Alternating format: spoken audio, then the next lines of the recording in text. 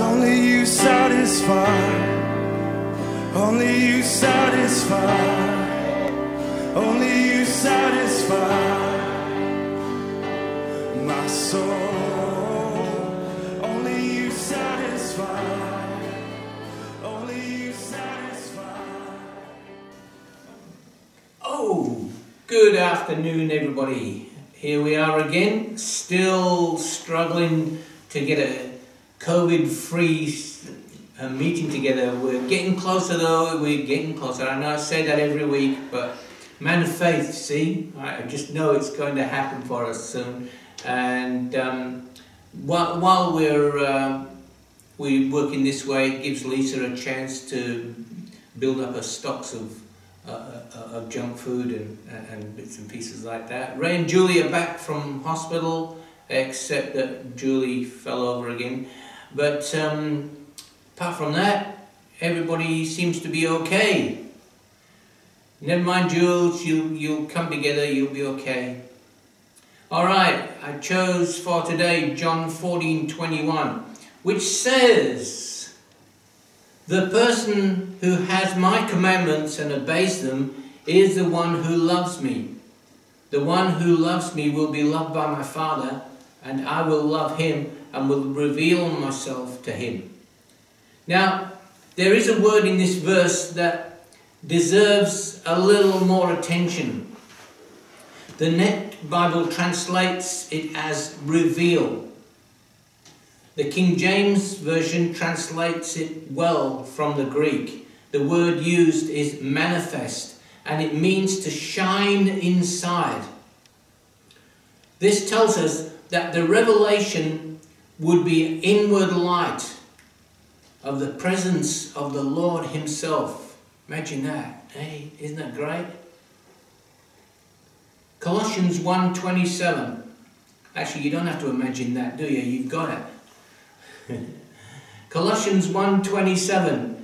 God wanted to make known to them the glorious riches of this mystery among the Gentiles, which is Christ in you, the hope of glory. There it is. Christ in you.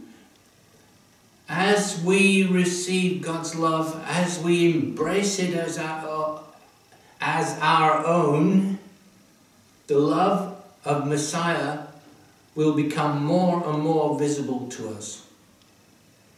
This comes from a place of inward surrender. So we're not talking about salvation here, we're talking about lordship, which is a very different matter. Christ in you, the hope of glory, the divine presence is what we're talking about. God told Moses that his name means that he is present. That is, in every moment, that is, past, present, and future, the unpronounceable name, that's Yod He Vav He, and is shorthand for I with you am. Notice that he squeezes you inside his name. I with you am. Was there ever a safer place in the entire universe? There is no moment in time, just as there is no place where God is not, and God is not there for us. Isn't it great that there is nowhere that we can lose God? There is nowhere that we're out of His presence. Now, this includes times of testing too, times of darkness, and even the threat of death itself. Psalm 23 and verse 4 Even though I walk through the valley of the shadow of death, we've got to remember that that psalm is a psalm to live by, not to die by, because if we, when we start that psalm it's the Lord is my shepherd, I shall not want. There's a promise that He's going to look after us even there. The Lord, our God, does not abandon us even when he seems hidden, powerless, or willing, unwilling to intervene. Faith trusts that he is present there in moments when we are vulnerable and weak and afraid. God is there for us.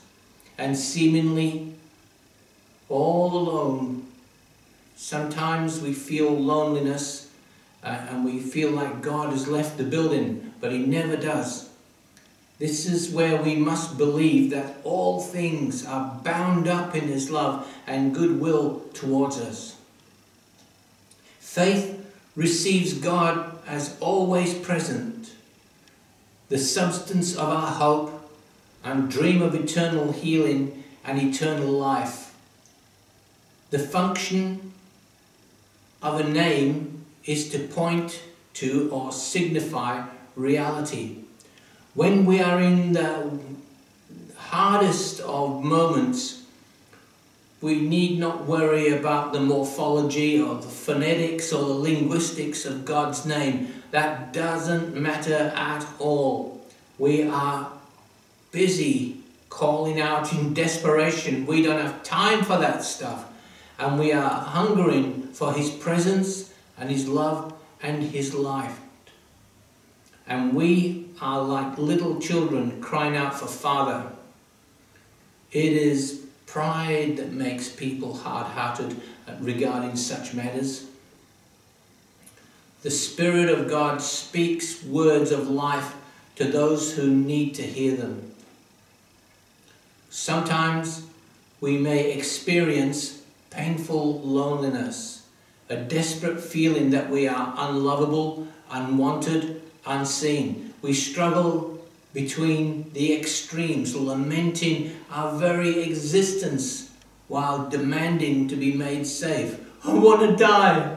No, no, I want the presence of God. I want to be healed. And there's this struggle going on in the life.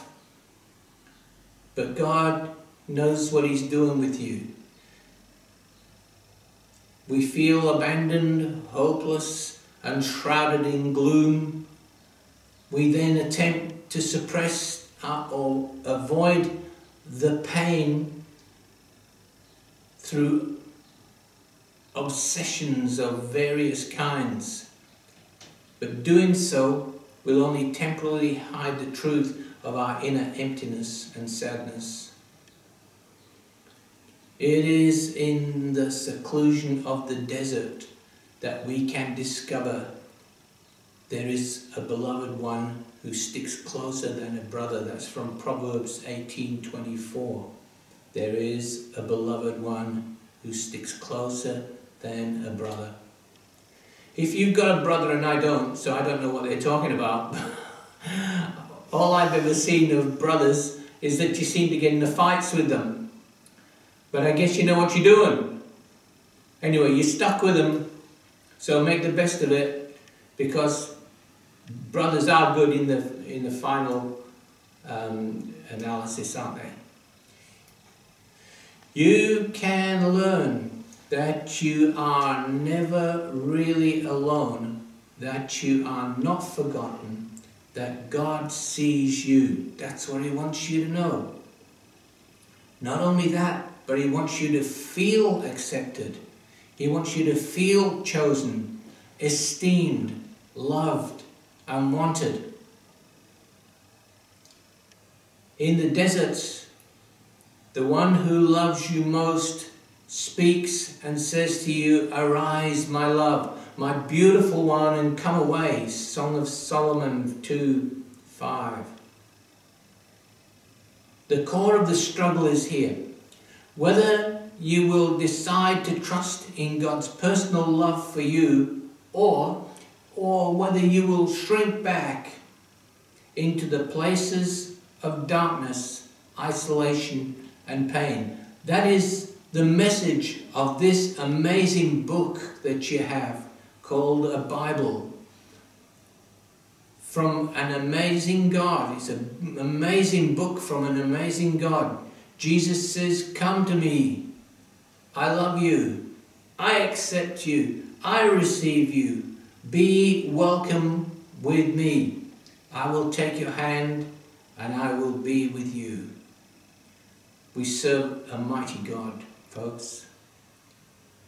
Praise his name. Well, it's the run up to Christmas. We're going to try and open the church. And that's going to be fun trying to fit everybody in. If we can possibly do it, we will have a meeting. If not, what we'll do is let just enough through and then we'll smash the door into your face as you try and get in, okay? So that's the best way we can handle that. I'm getting glared at by my wife at the moment who thinks that's not a good idea. Anyway, God bless you. Have a great week. Live it for Jesus. See you soon. Bye. Only you satisfy. Only you satisfy. Only you satisfy my soul. Only you satisfy. Only you satisfy. Only you satisfy soul. Jesus, only you satisfy. Only you satisfy. Only you satisfy